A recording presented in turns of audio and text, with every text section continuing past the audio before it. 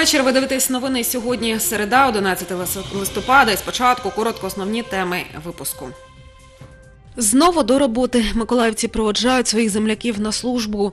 До зони проведення антитерористичної операції вирушили співробітники Національної поліції України. Наши бойцы подготовлены, постоянно проходили тренировки для выполнения боевых задач.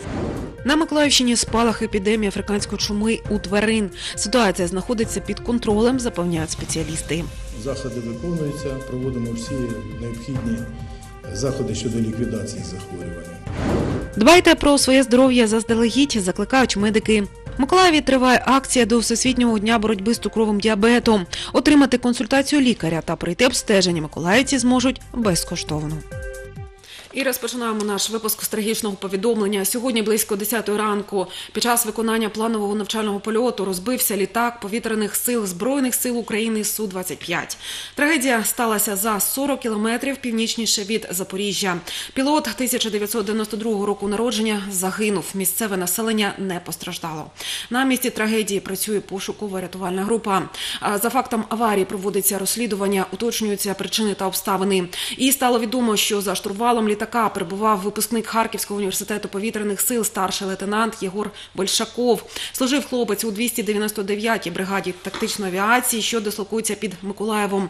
Керівництво Міністерства оборони та збройних сил України висловлюють щирі співчуття рідним та близьким військового льотчика у зв'язку із трагічною непоправною втратою.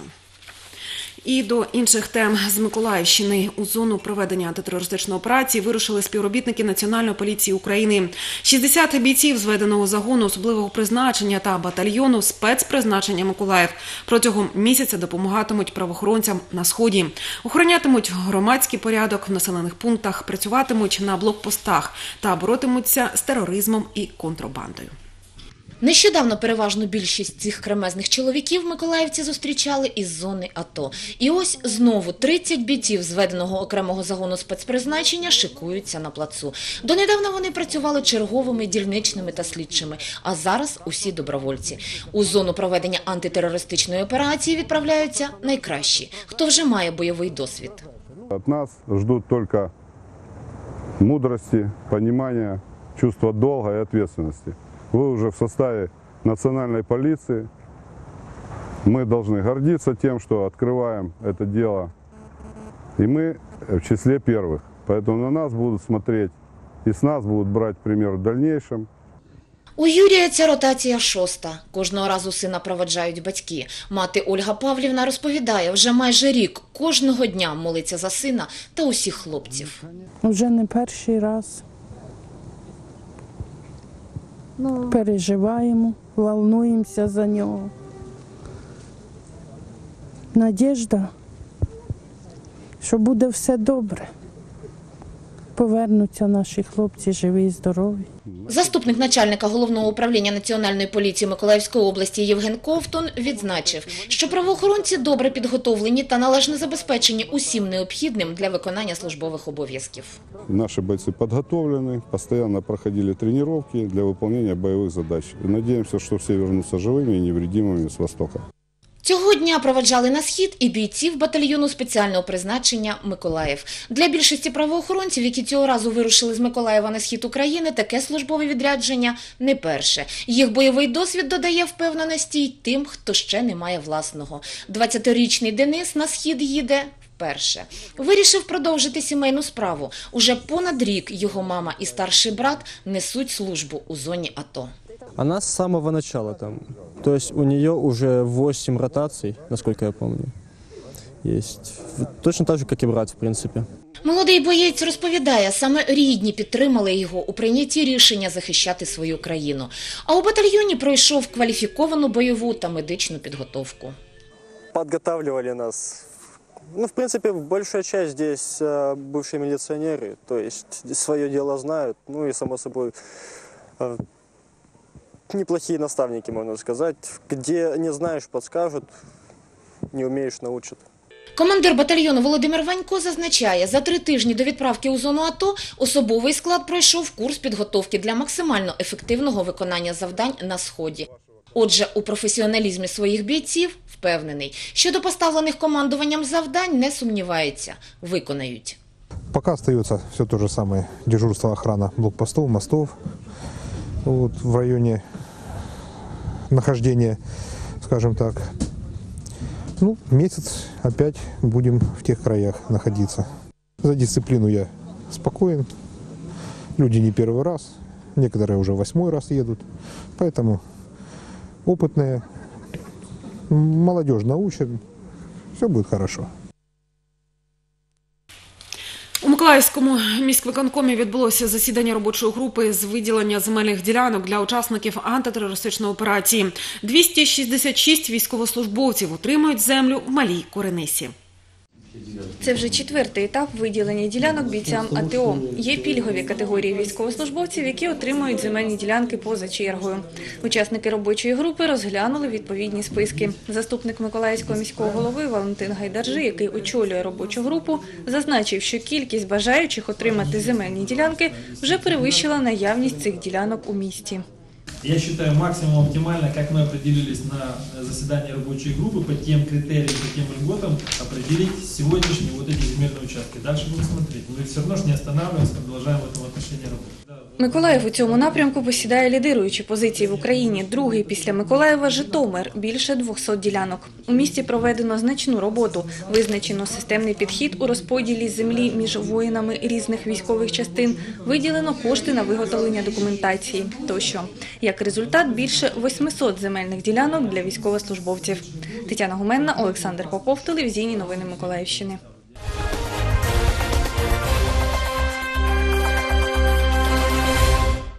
Ви дивитесь новини. Ми продовжуємо ранок кожного робочого дня. Протягом останнього тижня миколаївців зустрічає акціями на підтримку одного із двох кандидатів на посаду Миколаївського міського голови. Свої імпровізовані флеш-моби активісти влаштовують на головних транспортних артеріях та розв'язках обласного центру. Акції та імпровізовані флешмоби на підтримку одного із двох кандидатів на посаду Миколаївського міського голови в обласному центрі тривають з минулої суботи. Таким чином, малочисельні групи активних жителів міста намагаються збудити своїх земляків, акцентують увагу на важливості здійснення правильного вибору 15 листопада. Я вижу Николаев сплоченным, единым, очень живым, и я надеюсь, что наш будущий мэр Александр Сенкевич такой же, как и большинство николаевцев. Он нас поддержит. свобода от э, всего того, что было в прошлом, свобода мышления, свобода действия. Также Александр э, в своих интервью говорил не раз о том, что э, уже опыт других городов является успешным, так как э, когда открывали коммунальную собственность, потом выпускали облигации, брали кредиты, развивались. Вот мне эта стратегия очень нравится Александра по поводу э, привлечения новых инвестиций, создания новых рабочих мест. Павло Москальов, Ігор Дорошенко, телевізійні новини Миколаївщини. Тим часом в мережі інтернет поширюється інформація про напад представників цивільного корпусу Азов на агітаторів за кандидата на посаду міського голови Ігоря Дятлова. Начебто молоді люди псують агітаційні намети. Наші кореспонденти поспілкувались із самими активістами і дізнались їх думку з приводу цих звинувачень. Миколаївський обласний осередок цивільного корпусу Азов функціонує на території регіону із квітня цього року. Відколи із зони бойових дій повернувся теперішній керівник організації Денис Янтар. Саме він об'єднав навколо себе небайдужих, які воліють допомагати військовим полку Азов тут, в Миколаєві. Окрім волонтерської діяльності, хлопці та дівчата проводять найрізноманітніші акції по всьому місту, організовують благодійні ярмарки, виставки, уроки військово-патріотичного виховання та спортивні змагання. До нас звернулися деякі організації. Ми спільно з ними хочемо провести такий міні-фестиваль для дитячих будинків. Вони будуть е, мають відвідати зоопарк. Там для них буде деяке шоу е, ну, для з аніматорами. Ну і передамо їм гуманітарну допомогу, яку принесли е, люди та деякі організації. Хлопці визнають, що скоювали окремі незначні правопорушення по відношенню до деяких політиків, а саме розмальовували агітнамети. Та інформацію про збройні напади на агітаторів та псування наметів спростовують. Багато людей, які там сидять, вони навіть не є прихильник, ну в палатках, вони не є прихильниками опозиційного блоку, просто їм платять гроші. Е, В приватних бесідах з ними ми спілкувалися. Вони кажуть: ну, в принципі, я навіть за них голосувати не буду. Е, Ну, це не моя політична течія, однак ну, мені потрібні гроші. Інтернет переповнений інформацією з мальовничими фото та відеодоказами розтрощених наметів. Але побиті агітатори до лікарні швидкої допомоги не поспішають. Та й кримінальне впровадження на азовівців ніхто і досі не відкрив. Денис Іванов, Сергій Ярмаков, ТНМ. І до інших тем ситуація в районах, де зафіксовані спалахи епідемії африканської чуми, свиней знаходяться під контролем. Про це під час наради повідомив заступник голови обласної державної адміністрації В'ячеслав Бунь. На нараду з'їхались керівники і представники райдержадміністрації Миколаївської області. В'ячеслав Бонь підкреслив, що така зустріч необхідна, щоб окреслити коло питань, з якими районні адміністрації можуть зіштовхнутися в разі, якщо інфекція пошириться. З 2012 року в Україні були зареєстровані 48 випадків африканської чуми свиней, переважна більшість з яких зафіксовані у нинішньому році. Ми не будемо йти шляхом наших північних сусідів, які замовчують ті випадки, які в них стосуються. В Україні кожен випадок захворювання на африканську чуму свиней е, фіксується, і про кожен випадок Україна повідомляє в Міжнародне епізоотичне бюро.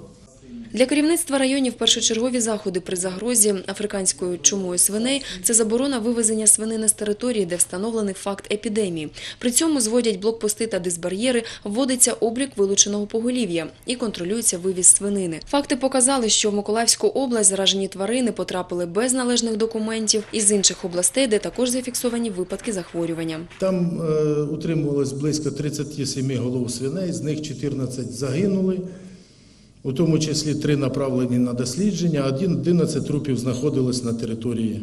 Ситуація зараз під контролем, заходи виконуються, проводимо всі необхідні заходи щодо ліквідації захворювання.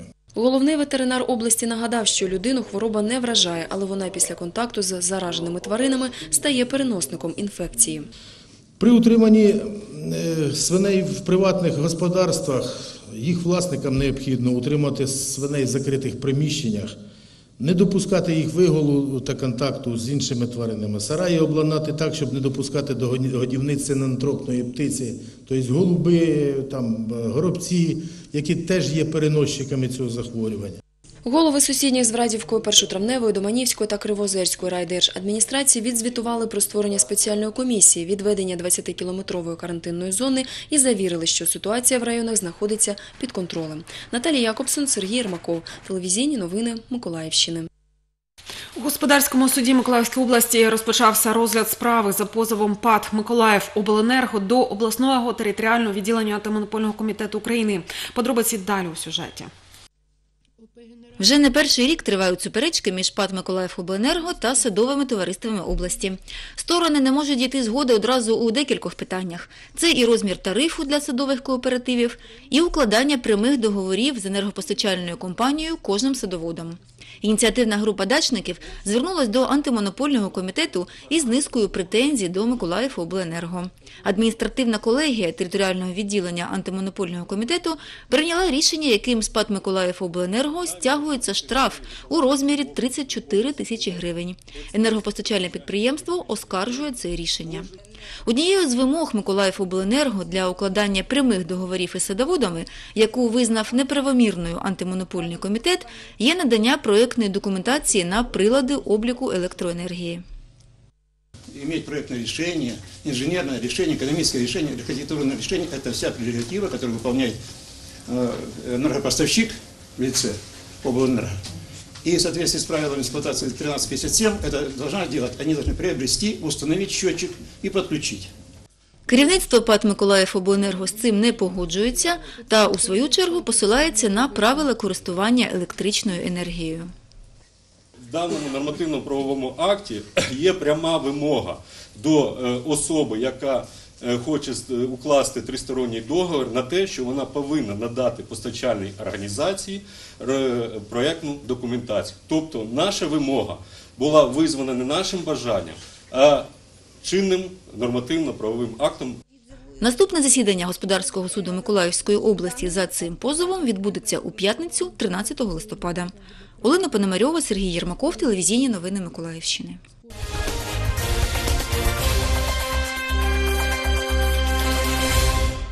Триває акція, організована обласним центром здоров'я до Всесвітнього дня боротьби з цукровим діабетом. Сьогодні виміряти рівень цукру та тиск могли мешканці Корабельного району.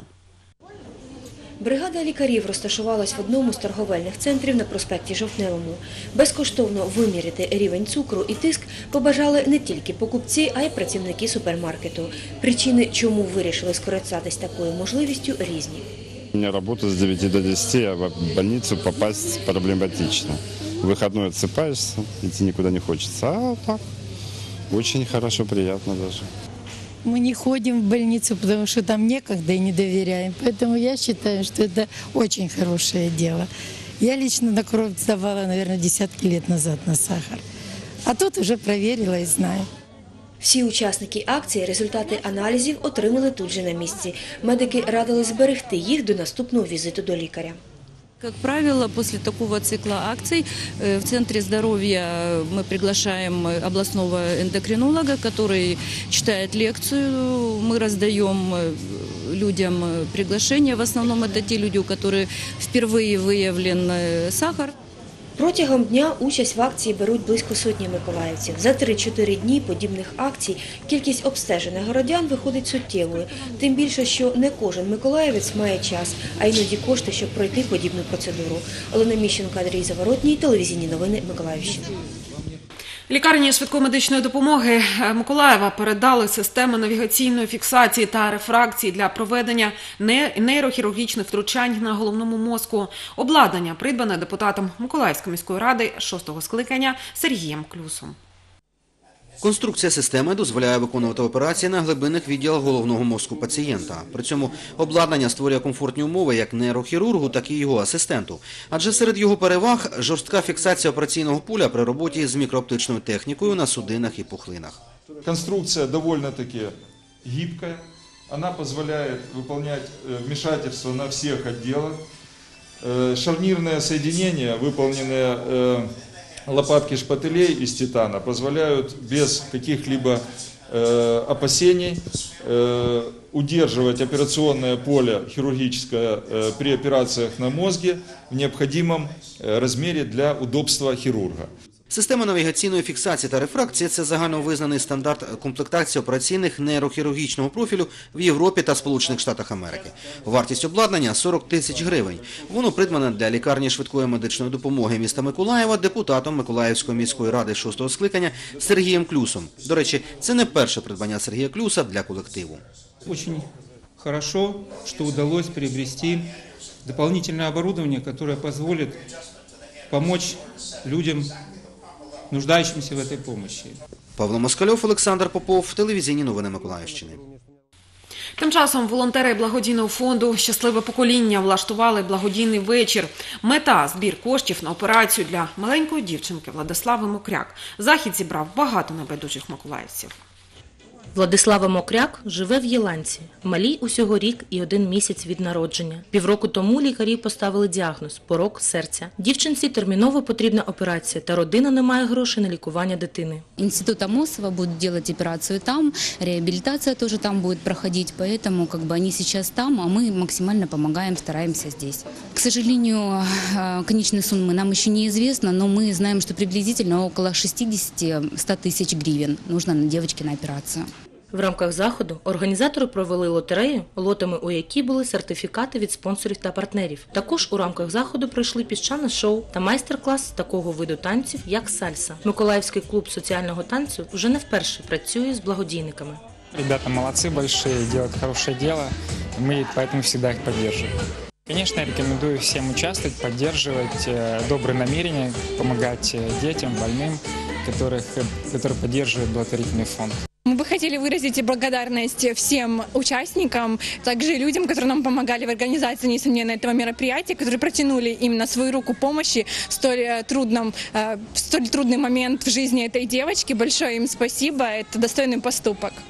Усі небайдужі миколаївці можуть долучитися до благодійної справи і допомогти маленькій Владиславі. Навіть незначна сума може допомогти врятувати життя. Номер телефону батька Владислави 095 578 71 57.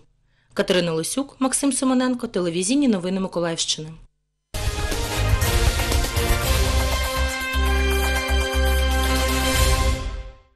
І наостанок новини культури. Нещодавно ми відзначали всеукраїнський день працівників культури і народного мистецтва. З цієї нагоди президент України Петро Порошенко підписав указ, яким відзначено працівників галузі.